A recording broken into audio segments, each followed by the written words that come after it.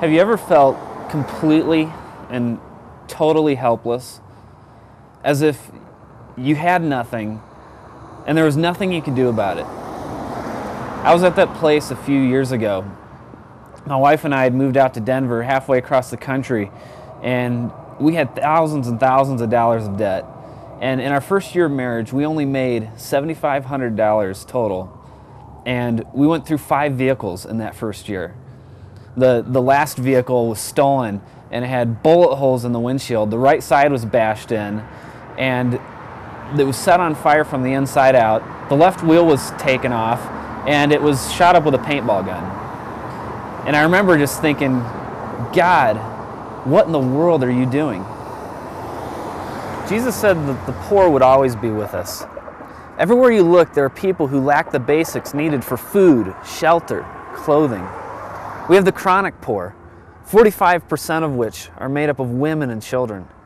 Then we have the transitionally poor, who are living in low income housing, just trying to get ends to meet, trying to get back on their feet. How do you feel when you think about the poor? Most of the emotions that we feel really boil down to two basic categories. We either blame the individual or we blame society. And the problem with blaming the individual is that we, we fail to take into account their lack of education or perhaps their lack of nurturing as a child.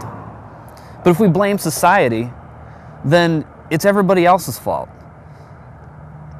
And you see, both of these views are self righteous because the gospel erases any feelings of superiority the gospel reduces us down to where all of us are needy, all of us are poor, all of us are helpless in need of a Savior.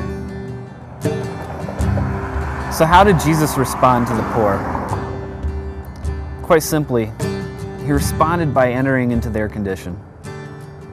He entered into their condition symbolically. Matthew 25 says that when we help the poor, it's as if we're helping Christ. He also entered their condition literally. He was born in a feeding trough. He, he lived homeless. He rode on, into town on a borrowed donkey, ate in a borrowed room, and then he died and was buried in a borrowed tomb. And so we want to follow Christ by identifying with the poor as he did, by ministering to the poor as he did. And one of the ways that we're going to do that is by spending a night in a box. And we're going to do that in order to raise funds and awareness so that we can better minister to the poor in the city of Denver. And we're asking you to join us by either spending a night in a box with us or by supporting those who do. Night in the Box is an opportunity to feed the hungry to give drink to the thirsty, and to clothe the naked. For when we do it for the least of these, we're doing it for our Lord.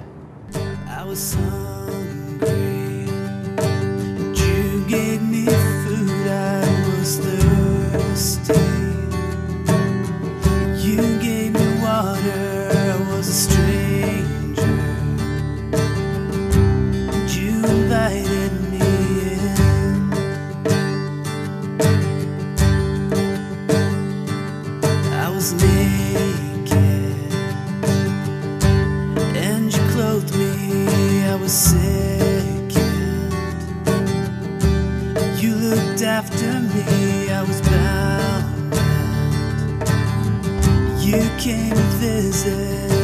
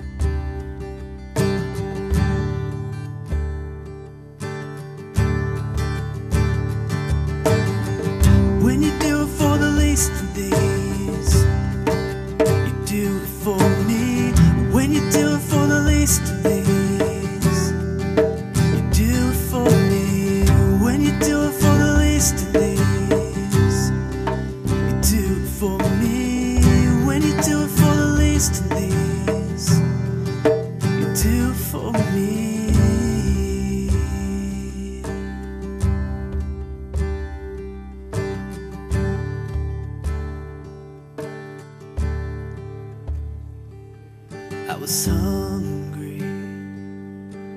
You gave me food. I was thirsty. You gave me water. I was a stranger.